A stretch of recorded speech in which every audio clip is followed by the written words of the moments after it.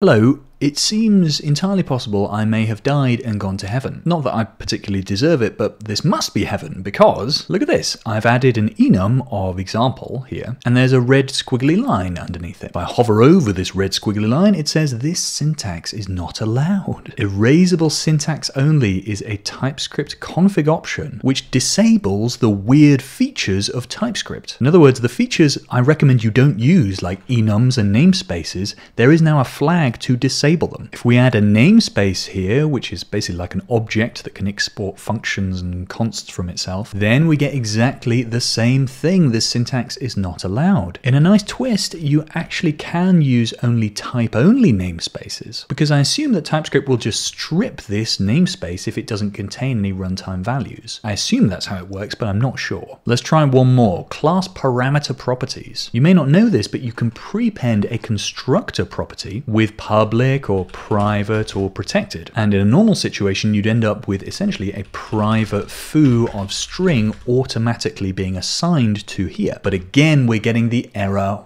this syntax is not allowed. This is honestly wild. All of these things that I recommend you don't use, there's now a flag to disable them. And why have they done this? Well, each of these syntaxes basically doesn't work with Node's default new type stripping approach. Enums, namespaces, class parameter properties all require some extra transformation. And so by providing an opt-in flag, TypeScript is basically saying if you want to use Node and TypeScript and don't want any other tools, you should turn on this flag. But to be honest, enums are are a little bit weird. Namespaces are a bit weird. Anything that does like TypeScript stuff at runtime is odd to me. I'm on the record saying that. I wrote that in my book. I've done YouTube videos about that. And now I've got a flag. I had no influence over this flag. You won't see my comments anywhere on the PR. But oh my god, I'm so happy it happened. And this literally just happened as well. This only just went in as a PR, but it will be being released as part of TypeScript 5.8. So happy days, you have a flag to turn on to disable enums. Yes!